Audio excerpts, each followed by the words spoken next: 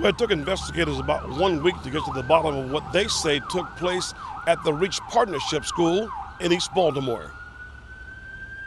Besides this video captured on a student's cell phone, investigators and school officials admit they didn't have much visual evidence to go on. There are cameras inside of the school which have uh, seen people inside of the building, but once you exit the building at that door, once the door closed, the camera did not catch anything.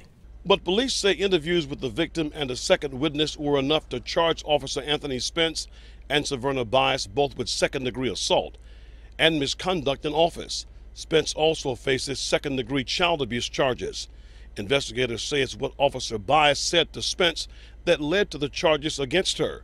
In a police document, she says, You need to smack him because he's got too much mouth. That is uh, partially why I, I'm not going to go too much further into the evidence and other which you, other than what you have in the what you've seen in the uh, probable cause statement.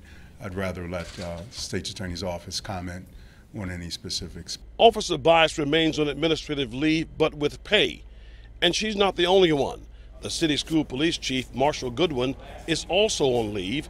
It's a topic the school CEO was not eager to talk about. Uh, Chief Goodwin is on administrative leave, uh, and presently he will remain until a decision is made regarding next steps uh, for him.